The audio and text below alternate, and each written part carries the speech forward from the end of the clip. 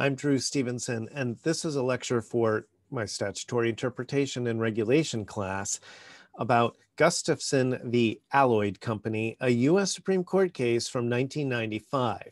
Now, please note, I have right on the slide here, um, we're going to talk about, we're studying this case to really learn about three kind of traditional canons of construction, all in one case.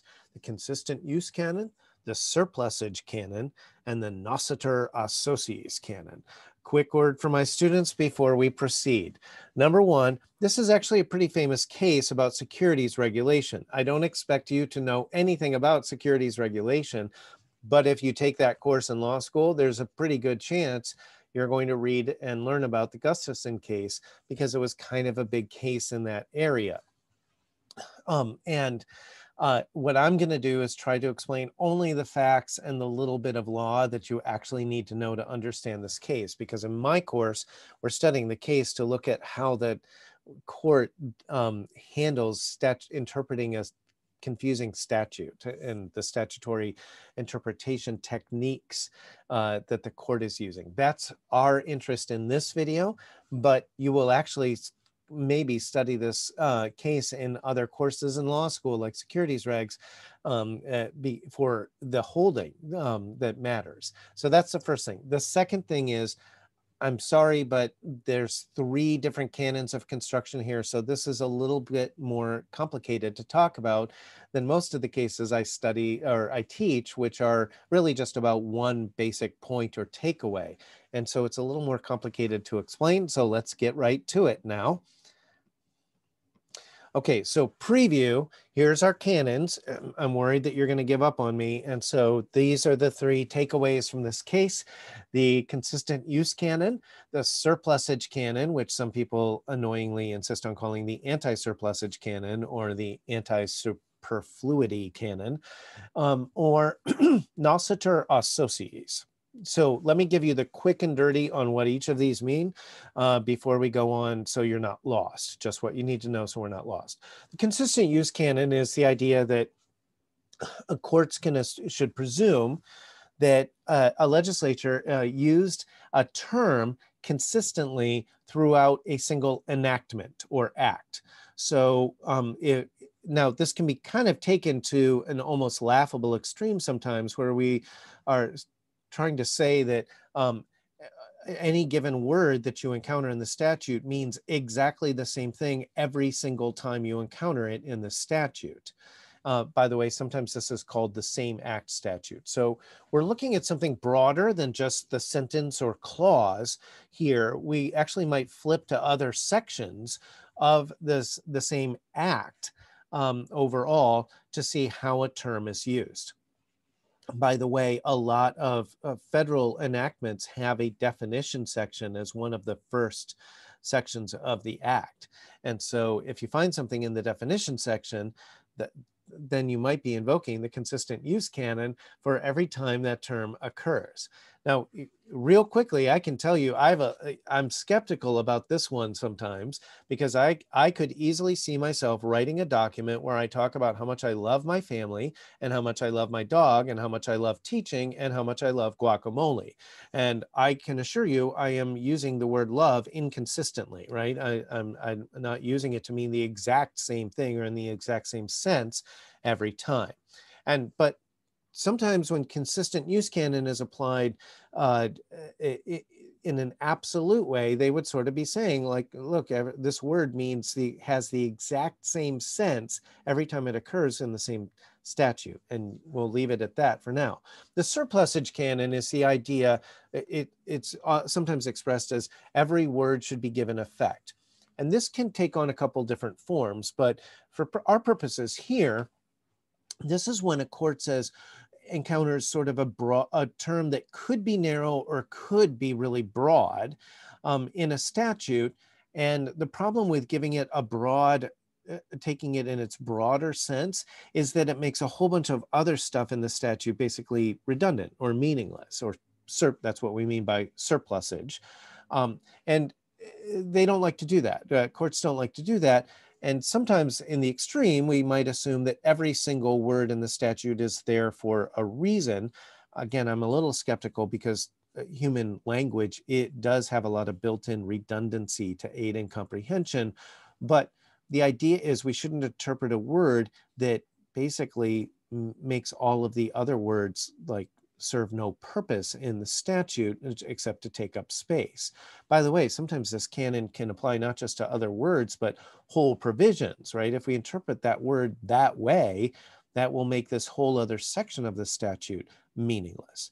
And so that's a surplusage canon. It's pretty useful, actually. Noscitur a Sociis has the hardest name because it's uh, Latin, but it's actually the most uh, uh, intuitive of these three. This is the common sense assumption you've worked with your whole life that you can get some sense of the meaning of words from their immediate context, right? Look at how it's used in the sentence. That's what Noscitur a Sociis is, is looking at the na immediate neighbors or the words right around the word you're looking at. And so often this is focused on the other words in the same sentence to try to get a sense of how a word is being used and um, its context. Okay, now about the facts, and I'm going to try not to bore you to death, but it's not that interesting.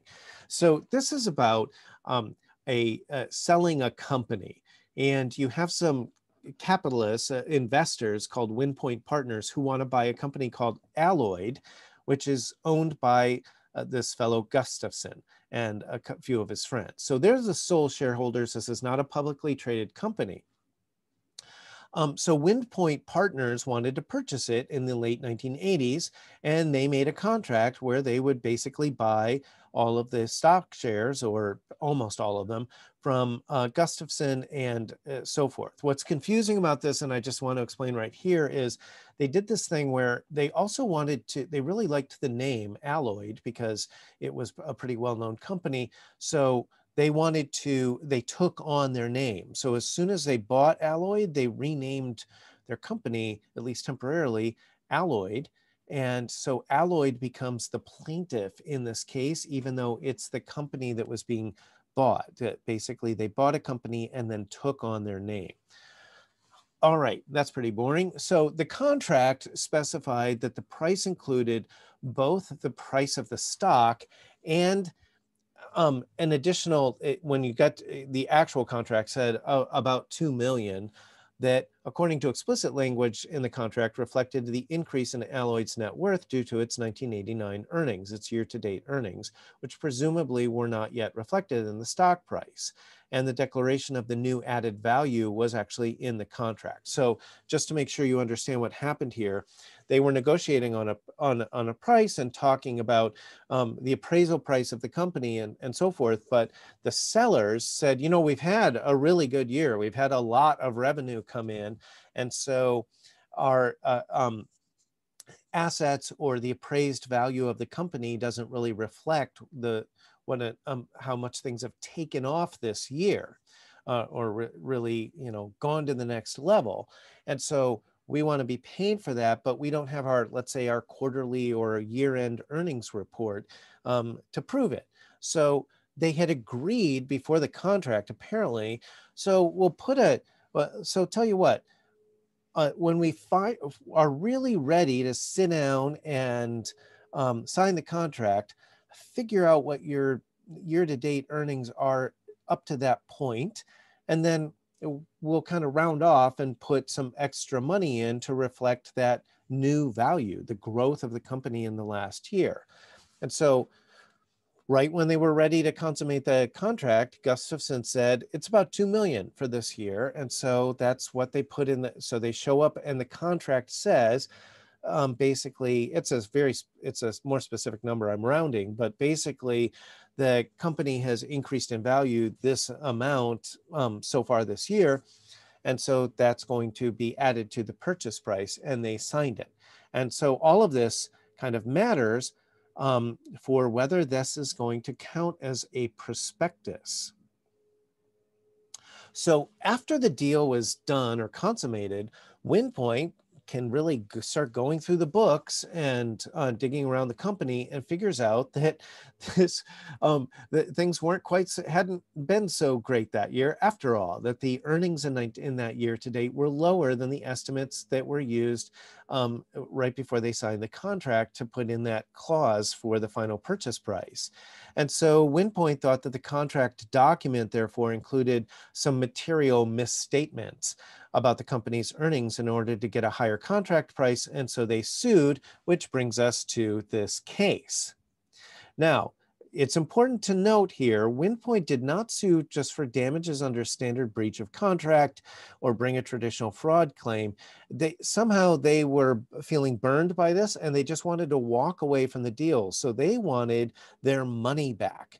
And in contract law, we call that rescission of the contract. So this is a little different from seeking damages under a contract or seeking enforcement of the contract. They just wanted to undo the contract, get their money back, and go away and pretend this never happened.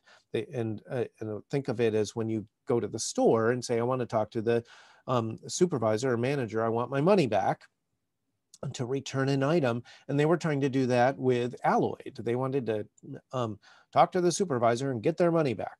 All right, so the main question then before the court was whether this remedy, rescission of the contract, just undoing it, um, is really available under the laws, uh, the federal laws about buying and selling stock, which we call securities regs. So what WindPoint did in order to get to have this particular remedy was they brought the suit under um, uh, section 12.2 of the Securities Act, and that section says a purchaser of securities is entitled to rescission to get their money back if the um, contract is made, uh, if the seller has made material misstatements by means of a prospectus. So the question here is whether this contract that they signed should count as a prospectus within the meaning of this provision. So they needed this section of the statute in order to get to just undo the deal and walk away from it.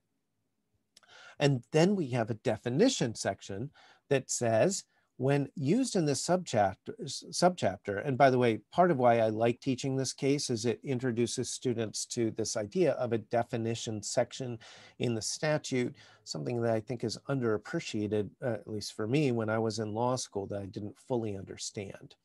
So the term prospectus means, according, and this is a definition section, and I'm quoting the statute, any prospectus, notice circular, advertisement, letter, or communication, I put it in bold, written or by radio or television, which offers any security for sale or confirms the sale of any security. So look at that for a second. You can imagine that WindPoint, who needs to have the contract, this is the only place where they got this misrepresentation in writing from the other side and will be can easily prove that they're something uh, they relied on an untrue statement. They're trying to say that the contract is a communication and therefore is fits under the definition of a prospectus. And um, and then Gustafson is saying, no, it's not, uh, right? Communication can't mean anything, right? It can't, um, uh, uh, uh, it doesn't refer to uh, yelling go team at your football game. That doesn't mean that now it's a prospectus. Okay, so note that um, section two defines prospectus as including not only a prospectus, but also any written communication that offers securities for sale. And so the plaintiffs here argue from kind of this, make a plain meaning argument that this permits rescission of a contract that has false info in it. And so that plain meaning argument sets up the counter argument, which is, uh, um, and includes a defendant's noscitur a sociis argument that basically that really broad term communication, which could mean anything, um, that is uh, that that should be actually narrowed by the words around it, and also a surplusage argument. And the court ends up ruling for Gustafson. So um, they don't get to undo the deal. Uh, Alloyd or Windpoint doesn't get to undo this contract. And they say the contract doesn't count as a prospectus, at least for purposes of this statute, which means no rescission of the contract. And they have three reasons, and that takes us to our three canons. The consistent use canon, the surplusage canon, and the nocitur associis canon, which I explained kind of quickly at the beginning. Um, so let's work through these one by one. And I'm just putting this slide up again so you're not completely lost. By the way, I know you're getting bored and my dogs Lucy and Rosie want you to stay focused for just a few more minutes. I promise this will be over soon.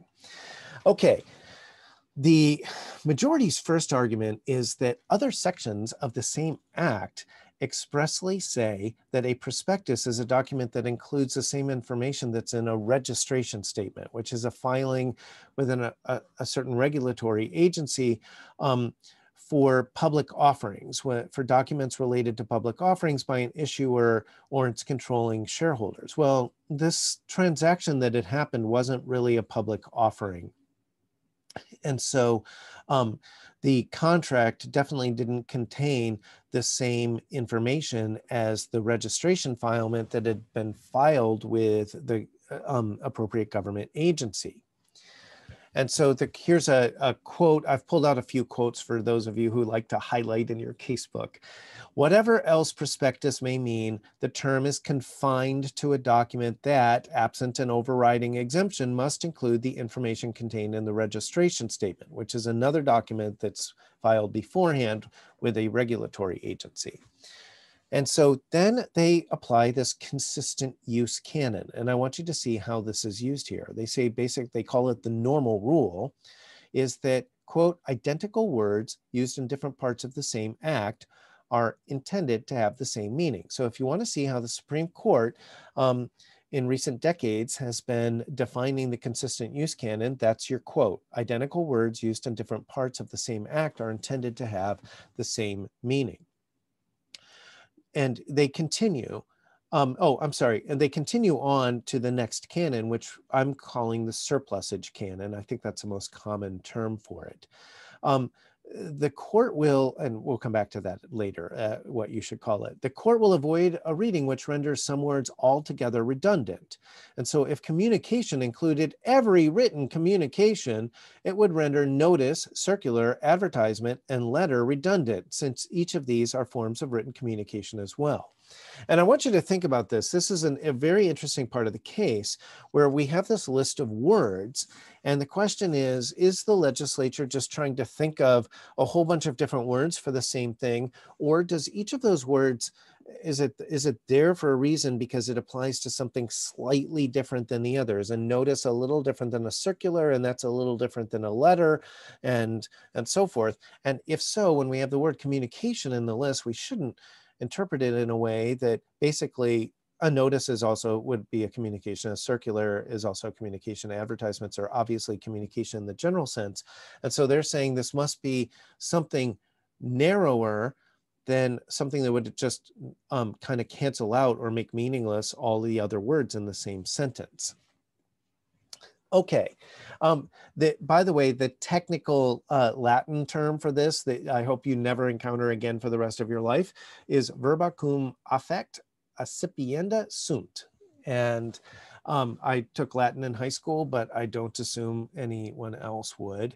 And we usually, so we just usually call this a surplusage or a surplusage canon or anti-surplusage or anti-superfluity canon. Um, and of which basically means avoid interpreting an unclear word in a way that makes other words in the statute or maybe even other whole provisions meaningless or redundant. So now the original way this was expressed was, and the, what the Latin word kind of almost literally means is each word should have an effect or standalone meaning. And or another way of thinking this is everything is there for a reason, right? Every word was put in there deliberately and haggled over in a drafting committee and stuff like that. So if they put a word in, that word was supposed is supposed to be um, laden with meaning of its own. So don't interpret another word that makes everything else seem like just um, like the legislature was rambling and repeating itself. Okay, the, the majority then moves on to the Noscitur canon. And here's the way they explain it. I, again, I pulled out a quote to help you. A word is known by the company it keeps, and they call this the doctrine of Noscitur a sociis. This rule we rely upon to avoid ascribing to one word a meaning so broad that it's inconsistent with its accompanying words, thus giving unintended breadth to the acts of Congress. Now, what's part of what's interesting about this maneuver is they're basically taking this old Latin canon um, uh, of look at the immediate, which just means look at the immediate context to get a sense of how the word is being used, and um, and uh, reading and seeing that uh, this is all about like separation of powers, right? That um, the, the legislature doesn't would be thwarting the will of the le- of Congress. I'm sorry, the courts would be reading a statute to cover a lot more things than Congress intended. Um, if we don't apply this canon, that certainly raises the stakes a little bit. Okay, and now it apply. Here's how the court applies the Noscitur canon. I know you're dying of curiosity. From the terms prospectus, notice, circular, advertisement, or letter, it is apparent that the list refers to documents of wide dissemination. Um, in other words, not something you give just to one person, right? So a notice, circulars, advertisements go to um, the general public. And in a similar manner, the list includes communications by radio or television, but not face-to-face or telephonic communications. Inclusion of the term communication in that list suggests that it too um, refers to a broad public communication and not a, a private contract that only the buyer and seller and their lawyers were probably ever going to see. Okay, we have a couple of dissenting opinions, and one thing I want to draw your attention to is that it's an unusual combination of justices who dissented. And this is a 5-4 opinion, but it did not split on party the usual conservative liberal lines. Instead, we have um, Scalia and Thomas teaming up with Ginsburg and Breyer. And the gist, uh, the main gist of both of the dissenting opinions is that the plain, the plain meaning rule should control, and especially if we have a statutory definition section, like we don't have to do any interpreting or apply any of these canons um, because we have a definition section and we can just follow that and give it the plain meaning. And that means that the contract would count as a communication and therefore as a prospectus, and therefore WindPoint should be able to get out of this deal. Okay, now I know these canons can be confusing and I made a little diagram for you. I hope you find this helpful. Um, if you want to pause the video for just a minute to read these, sorry, the font is kind of small. Um, these, I think, I picked out five canons that I think can be confusing for students because they're similar or overlap a little bit. Noscitur a sociis is when we're talking about, we really look at other words in the same sentence. So you have a, phrase, a word or phrase in the statute that is uh, uncertain or unclear. So you can look at its immediate context to see how it's being used and what sense is it being used. Um, and then moving next door, we have in pari materia, which our casebook talks about mostly in the notes. And this is looking for the same word in other statutes, not the same act necessarily, but other statutes about the same matter. Look at the word materia. And so, um, in other words, if this is a, a firearm case, which this one isn't, but we might look at other statutes in the federal code. You're, let's say you're bringing a conviction under section 18 USC 9, 922. Well, 924 also has a whole bunch of stuff about using guns and drug deals and stuff like that. So um, we might look around at other statutes about the same subject matter and the assumption is that congress is probably using the word the same way at least in statutes about that and maybe less so when we're if we're talking about guns and then we look at an environmental law statute or something about um, retirement benefits um, and, and, so forth. So in pari materia is the idea that uh, uh, any other statute that's about the same subject matter let's we could use for guidance about what a confusing word means ejusdem generis is when we have a catch-all phrase at the end of a list uh, of specific items, and those items share some common trait. And then we're going to assume that the catch-all phrase at the end is not absolute. It doesn't, it, they didn't mean to make the statute apply to every single thing in the world when they said, or any other blank. They mean other things that could have been on that list. The consistent use canon is the same word, but now we're looking at the same act. The, so the same actual statute. Not and so this is a little narrower than in pari materia, where we might look at other statutes and enactments about the same matter. Here we're just assuming though at least this Congress and and there's some comments something intuitive about this. Probably the same drafting committee worked on one statute, one act.